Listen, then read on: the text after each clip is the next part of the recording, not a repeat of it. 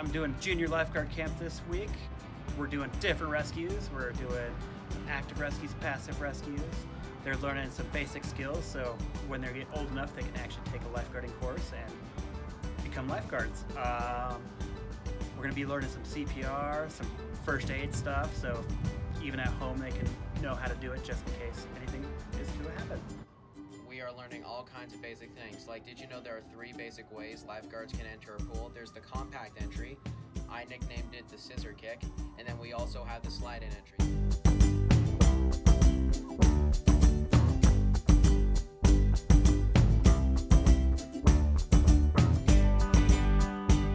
Some things I've learned today are how to rescue people, whether they're passed out or not, and jump into the water if it's shallow or not shallow.